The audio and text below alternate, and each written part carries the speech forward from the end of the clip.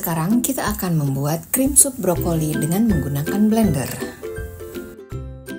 Bahan yang kita gunakan ada brokoli, ada ubi putih, dan bawang bombay, juga daun bawang dan tomat sebagai topping pelengkap. Ubinya sudah kita kukus sebelumnya. Untuk brokoli, kita kupas-kupas dengan ukuran sedang. Di sini kita menggunakan kaldu yang sudah pernah kita buat di video sebelumnya bisa menggunakan kaldu ayam atau kaldu sapi sesuai selera.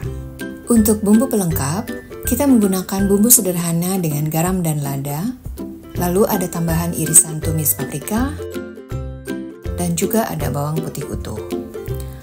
Untuk bawang bombay kita cincang halus terlebih dahulu, kemudian ada kacang polong beku yang akan kita rebus dan blender bersama brokoli, dan juga ada irisan kacang almond sebagai topping pelengkap. Pertama, kita panaskan panci dengan api sedang, lalu masukkan air kaldu sebanyak 500 ml. Masukkan bawang putih utuh dan bawang bombay cincang.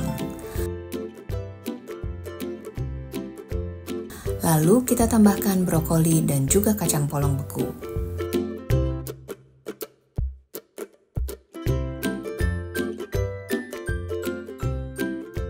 Dan kita rebus hingga mendidih lalu langsung kita angkat, dinginkan sebentar untuk kemudian di blender. Semua bahan yang telah direbus kita masukkan ke dalam blender dan tambahkan ubi putih yang sudah kita kukus. Lalu kita bumbui dengan garam dan lada secukupnya.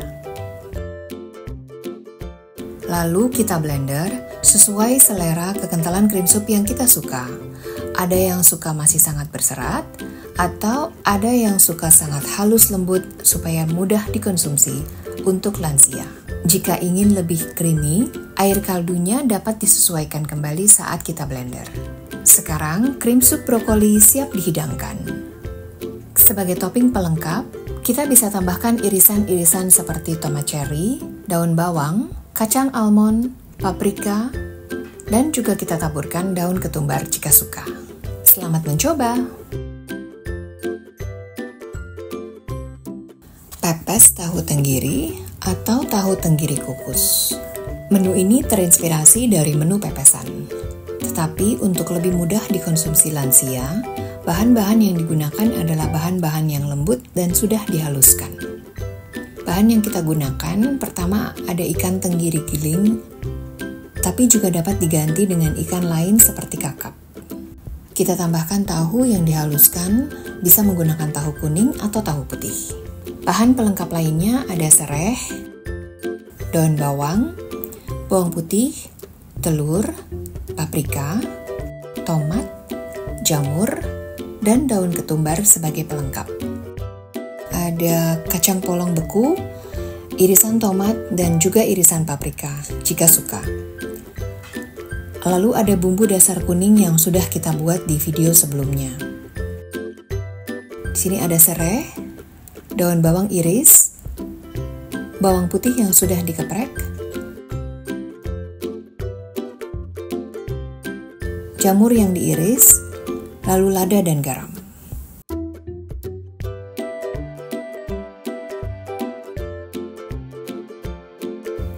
Kali ini kita menggunakan aluminium foil atau bisa juga mangkok tahan panas untuk mengukus pepesnya. Dapat juga menggunakan daun pisang jika lebih suka. Sekarang kita siapkan adonan pepesnya. Ikan giling kita aduk rata bersama dengan bumbu kuning, lalu lada dan garam.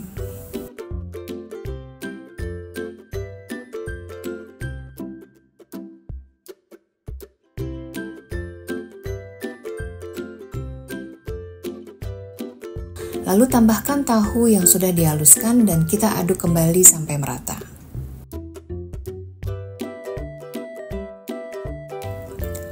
Lalu tambahkan telur yang sudah dikocok sebentar, bumbui dengan garam dan lada.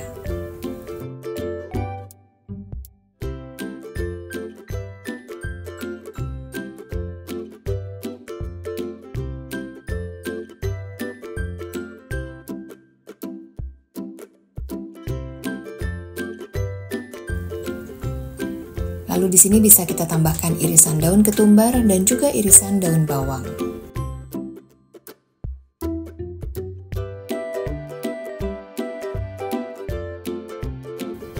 Adonannya sudah siap, sekarang kita masukkan ke dalam loyang cetakan.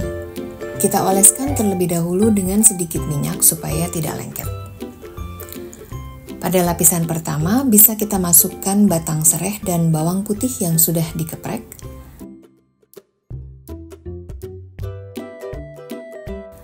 Lalu kita tambahkan lapisan berikutnya.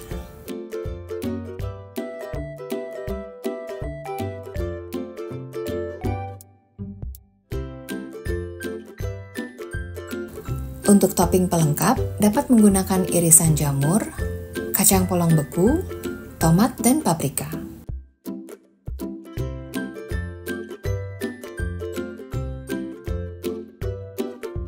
Jangan lupa, panci kukusannya dipanaskan terlebih dahulu hingga air mendidih, baru kita masukkan pepesnya. Kita kukus sekitar 15 sampai dengan 20 menit dengan api sedang dan sekarang siap disajikan.